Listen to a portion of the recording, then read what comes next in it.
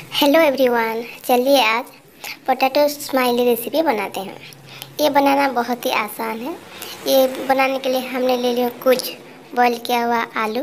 उसमें ऐड करेंगे थोड़ा सा salt chaat masala red chilli powder and इसका अच्छे से एक डो फाइन डो बना लेंगे।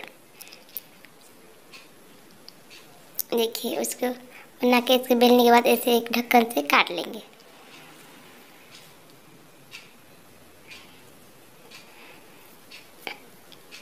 देखिए, इसका हम आँख बना रहे हैं।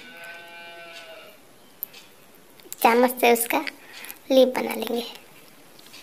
देखिए, बन गया हमारा स्माइली अब इसे गरम ऑयल में फ्राई करेंगे।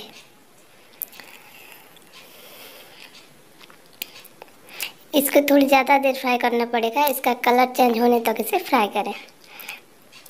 यदि मेरा वीडियो आपको अच्छा लगा तो प्लीज़ सब्सक्राइब करें।